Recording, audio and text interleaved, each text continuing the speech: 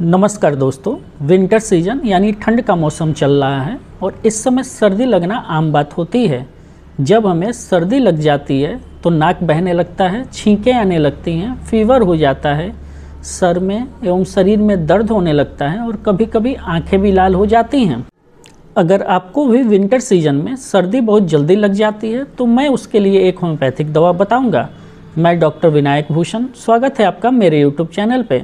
अगर आप मेरे चैनल पे नए आए हैं तो चैनल को सब्सक्राइब करना ना भूलें। साथ ही साथ बेल आइकन को भी ऑल पे प्रेस कर दीजिए, जिससे मेरे द्वारा बनाई गई वीडियो की जानकारी आप तक सबसे पहले पहुंचेगी।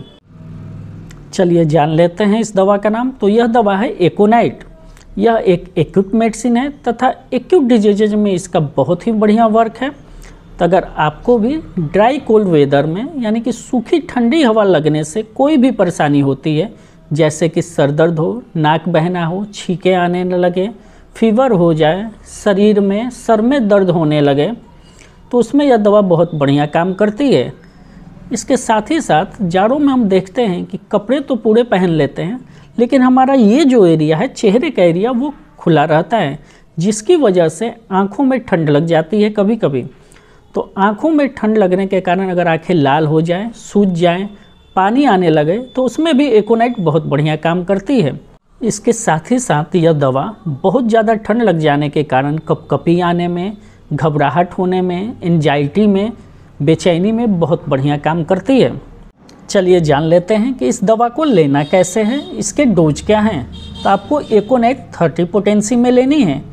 एकोनाइट थर्टी पोटेंसी की दो बूंद दवा एक चम्मच पानी में मिला के या डायरेक्ट जीप पे भी ली जा सकती है। बच्चों को यह दवा एक बूंद, एक चम्मच पानी में मिला के दी जानी चाहिए। एक्यूट कंडीशन में इस दवा को जल्दी जल्दी यानी कि आधे आधे घंटे पे दो तीन खुराक ले लेनी चाहिए। उसके बाद आवश्यकता अनुसार इस दवा को रिपीट करना चाहिए। आप देखेंगे कि एकोनाइट को लेने से आपकी बीमारी वहीं पे रुक जाएगी तथा धीरे धीरे उसमें सुधार आने लगेगा। आशा करता हूँ आपको मेरे द्वारा दी गई जानकारी पसंद आई होगी। अगर पसंद आई है तो मेरे वीडियो को लाइक कीजिए, शेयर करिए और मेरे चैनल को सब्सक्राइब करना ना भूलिएगा। मैं इसी तरह से होम्योपैथिक से रिलेटेड नॉलेजबल वीडियो बनाते रहता हूँ। मिलते हैं अगली बार एक नए वीडियो के साथ। नमस्कार।